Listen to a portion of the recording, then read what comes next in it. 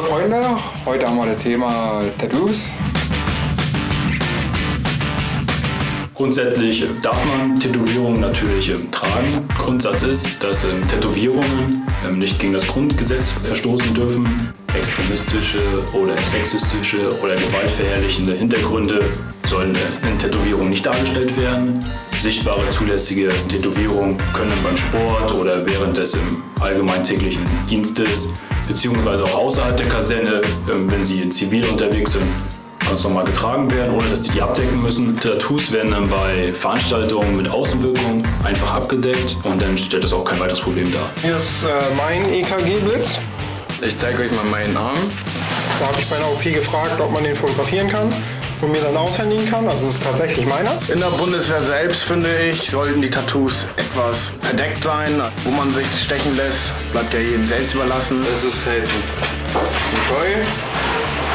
Das ist mein Lebenslauf, der auf meinem Arm tätowiert ist. Jung und dumm gewesen, Salary, zu tief gestochen. Bleistift steht für Legasthenie, weil ich eine Lese-Rechtschreibschwäche habe.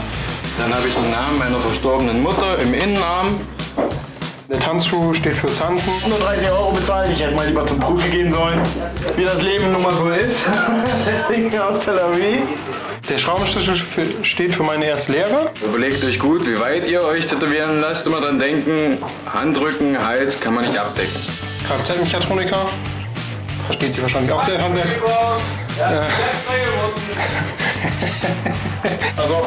War scheiße, kann ich auch keinen empfehlen, sich da ein Tattoo stechen zu lassen. Die Nadel hat immer auf den Knochen geschlagen. Und das ist echt nicht schön. Und ich habe fest vor, in mein Testament zu schreiben, dass irgendwann jemand mein Todesdatum auf meinen Arm tätowieren muss. Also wenn ich gestorben bin natürlich. Da habt ihr gerade äh, die Tätowierungen gesehen, was sie dazu sagen, was sie denken. Unten seht ihr auf jeden Fall die Social Media Kanäle. Immer dranbleiben, immer abchecken, ob es Instagram oder Facebook ist. Und dann sehen wir uns in der nächsten Folge wieder.